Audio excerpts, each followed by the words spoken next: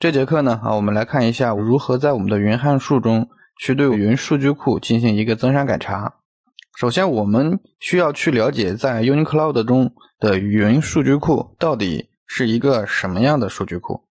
那么 UniCloud 呢，给我们提供了一个 JSON 格式的文档型数据库。数据库中的每条记录呢，都是一个 JSON 格式的一个对象。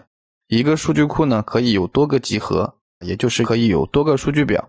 相对于关系型数据中的表呢，啊，集合可以看作是一个 JSON 数组，数组中的每一个对象就是一条记录，记录的格式呢，就是我们的 JSON 对象。那么来我们的控制台看一下，在我们的数据库中呢，可以看左侧数据表，数据表就是说的是我们的一个集合。上节课呢，啊，我们创建了一个叫 user 的一个数据表，这将相当于是一个 user 的集合嘛。这里面会有什么内容呢？我们可以看到之前创建的一条记录，它相当于是集合这个数组里面的一项，那一项呢，就相当于是一条记录。然后我们可以再去添加，再去添加一个 name，name 是一二三的一个记录。那么我们确定。现在呢，啊，就会又给我们添加了一条记录，这也就是说，我们的这个集合优色的集合里面呢，有了两条记录。那么我们看记录里面，我们点击管理，记录里面会有什么呢？是我们标准的一个 JSON 格式的代码，会有一个字段。那么我们字段对应的是某一个值，值的话可以是我们的 string 类型的、number 类型的、bool 类型的，都可以。去按照标准 JSON 代码的一个格式啊，去进行一个书写。那么这样的一段代码呢，啊，就相当于是我们集合中的一条记录。这就是我们的 UniCloud 中的一个云数据库的一个概念。而鉴于安全原因呢，我们的数据库调用只能在我们的云函数中去进行，不能在我们的客户端直接对数据库进行增删改查。这点我们同学要了解到。然后来看一下，我们具体的应该怎么去做呢？把之前的代码先给它干掉。那么我们想要去使用数据库，首先第一件事，我们是要获取数据库的一个引用。我们怎么去获取呢？我们使用 UniCloud 提供的 database 啊这么一个函数，这样呢就能获取到我们数据库的一个引用啊。我们把它复制到我们的 DB 一个变量里面。然后呢，我们数据库的引用获取到了，接下来呢，要获取到我们集合的一个引用，这样的话，我们才能对某一个集合下面的记录去对它进行一个增删改查。那么我们要去获取集合的一个引用，集合的引用怎么去获取呢？我们叫 collection 等于等于谁呢？等于一个 db db 点 collection，这样呢，我们就能获取到集合的引用。然后我们需要给它传一个参数，就是我们的集合的名字。现在我们的集合叫 user，那么我们就在这里啊，把我们的 user 传入到 db 点 collection 里面，然后把它复制到我们的一个 collection 的变量里面。现在我们就能获取到集合的一个引用。集合的引用我们获取到之后呢，我们就可以对我们的记录进行增删改查了。首先，我们先去给它新增一条记录。在我们的 user 里面呢，啊，去新增一条记录。新增呢，我们怎么做？我们可以使用 collection 点 add，add 呢，希望我们传入一个对象。对象里面我们怎么写？现在全都有一个 id 和一个 name，id 呢是给我们自动生成的，我们不用去管。那么我们可以直接去增加一个 name 字段，给它一个值啊，我们叫 uniapp，保存一下。我们需要给它去赋个值啊，我们把它。赋值到 res 上面，然后我们去打印一下，把下面的输出我们删掉，我们去输出一个数据插入啊冒号，然后去把我们的在这里啊，我们再打印一条，我们叫 res，我们把它转成字符串，然后呢，我们去运行一下。现在呢，我们看一下我们的云函数怎么去测试运行。之前我们讲的呢，是在客户端呢使用 UniCloud 点 confunction 实际去调用的，但是我们在开发中肯定不能写一步然后去调用一步，这样的话是很浪费时间的，因为每次我们修改，我们要去上传部署，然后才能在我们的客户端实际上去调用的代码。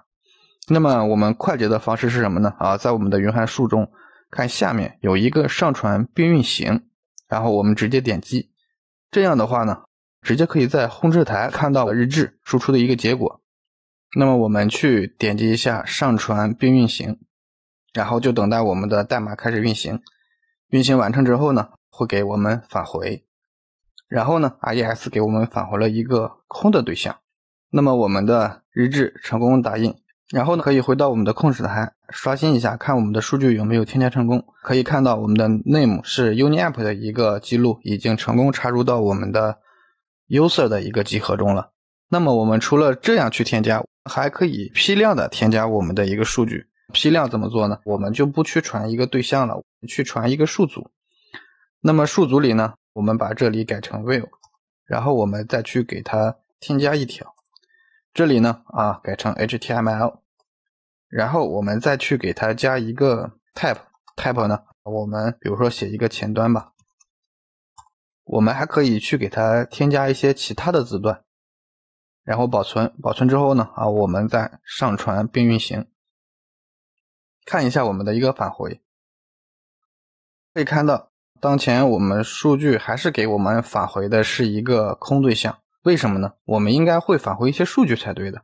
可以看到我们的函数上面呢有一个 async，那么实际上应该在我们的调用方法之前需要写一个 await，这样的话它才是一个同步的接口。